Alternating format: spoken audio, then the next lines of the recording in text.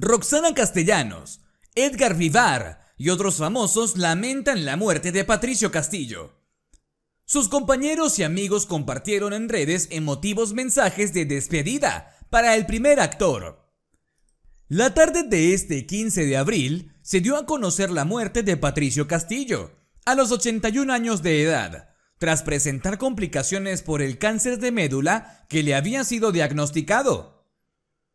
La noticia de inmediato cimbró al ambiente artístico, el cual a través de las redes sociales lamentó su fallecimiento y se despidió del actor, de mi querida herencia y la mexicana y el güero, con emotivos mensajes.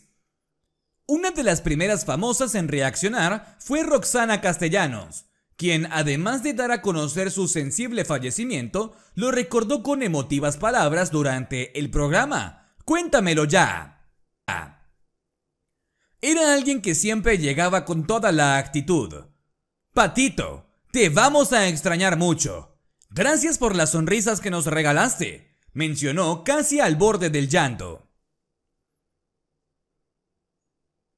Edgar Vivar, con quien trabajó en Mi querida herencia, le dedicó un conmovedor mensaje. Un gran pesar. Descansa, mi querido pato. Te vamos a extrañar. Por su parte, Luis Manuel Ávila le deseó buen viaje a su amigo y replicó una foto del actor. Triste noticia, enterarnos del fallecimiento del buen Patricio Castillo. Hashtag primer actor. Un abrazo a toda su familia, amigos y seguidores. Buen viaje, Pato, escribió. La periodista de espectáculos, Maxine Woodside, también utilizó sus redes para recordar al actor, a quien describió como un caballero. Falleció Patricio Castillo, un gran actor, un gran caballero y mejor amigo.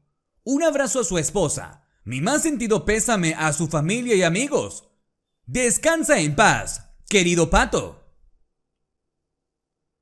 Paul Stanley fue otro de los famosos que también se hizo presente y con emojis en forma de corazón y manitas orando. Escribió, que en paz descanse, mi querido Pato Castillo, gran actor y amigo.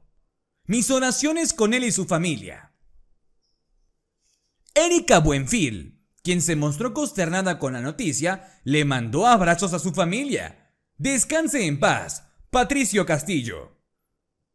¡Qué triste noticia! Abrazo a su familia.